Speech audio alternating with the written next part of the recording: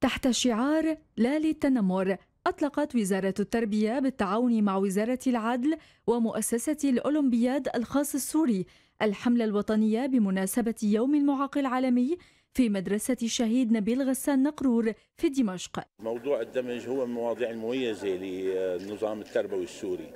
وبالتأكيد التعاون مع إدارة الأولمبياد لذوي الاحتياجات الخاصة له أهمية كبيرة لأنه هن مختصين بتطوير كفاءات العاملين في مجال الدمج.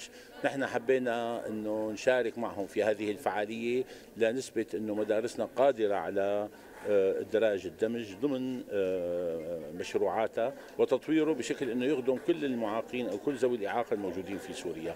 هلأ اليوم آه، عاملين هن نشاطين هامين، النشاط الأول هو يتعلق مباشرة بذوي الإعاقة والنشاط الثاني يتعلق بالأطفال الموجودين بالمدرسة لمعرفه مدى تجاوبهم مع ذوي الإعاقة وخصوصي تخفيف حالات التنمر، آه، إقناع الأهل بإنه لا يجوز إنه يتربى الطفل على حالات تنمر.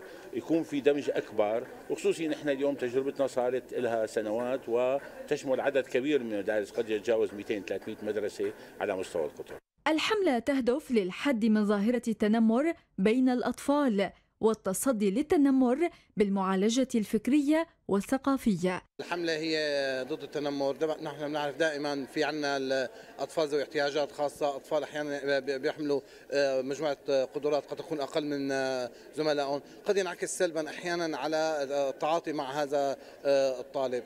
طبعا دائما نحن بنسعى أن يكون في عنا حالة دامجة ما بين الطلاب ذوي الهمم ذوي القدرات المحدودة.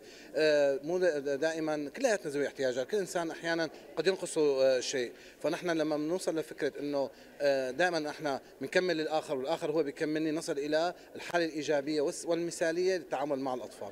اصنع الفرق وانبذ الإساءة هي الرسالة التي حملها ذوي الهمم بمشاركتهم فهم أثبتوا أنهم بقدراتهم وإنجازاتهم قادرين على قهر إعاقتهم وحصد النجاحات والبطولات في كافة المجالات وتحدي مصاعب الحياة